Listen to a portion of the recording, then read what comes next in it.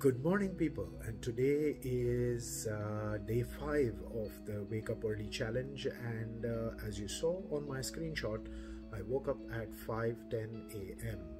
Uh, once again without the alarm clock, and that is really nice. I'm so happy that I'm able to condition my mind and my body to wake up at the time I tell him to wake up when I sleep in the night.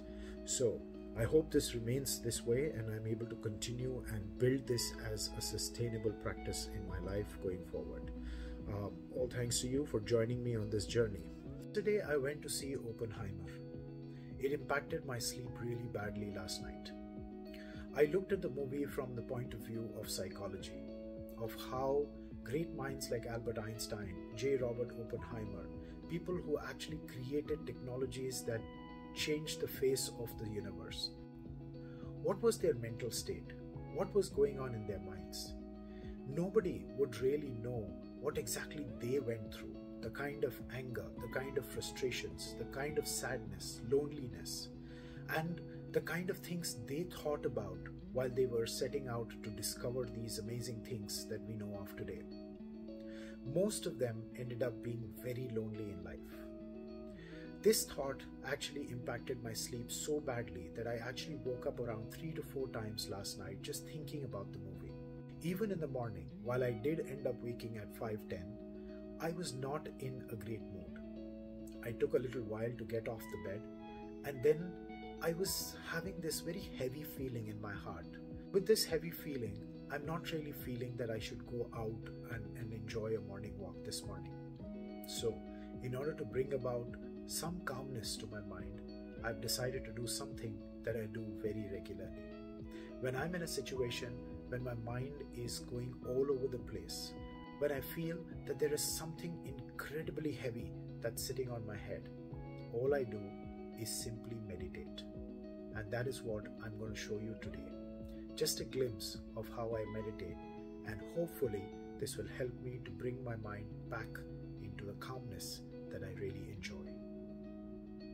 A very common problem that most people who live alone face is the fact that they feel often lost. They are so lonely in their life that they sometimes start having these thoughts about do I really need to live? Is there anybody who really cares if I live or die? Now, a lot of these thoughts also cross my mind. But the only thing that has helped me to actually stay calm and grounded is meditation. So grateful that this was something that my wife pushed me to do. And because of her insistence, I started trying doing this. And now it's been many years that I've been following this practice. I have to admit, I don't do it as regularly that I should. But honestly, twice or thrice a week, when I really feel low, or I feel depressed, or I feel sad, I simply do this practice. Just like this morning, as I have woken up on time, but I don't feel the need to leave my home. I still feel the need to calm my mind, and hence I will now be doing meditation for some time. This practice is something you can do at any given point of time. While I'm sitting here on a yoga mat, you don't really need a mat. You can simply be sitting on your bed or on a sofa or on your chair and simply closing your eyes. I do up listening to some nice, relaxing, meditative music as I do my meditation. If you have an option to do that, it is great. If not, you can simply shut your eyes and enjoy the beauty of meditation. Thoughts will keep coming and going. Don't try to catch them. That's the beauty of it. If you're thinking about something, just let it go. The whole idea of letting your thoughts flow is what makes meditation. So, I'm now going to put on some meditative music and enjoy the meditation for some time. Thank you very much again for joining me on day 5 of the Wake Up Early Challenge.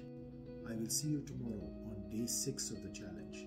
And if you have any comments with regards to this journey of mine, do comment, like, and share the video so that more and more people could get inspired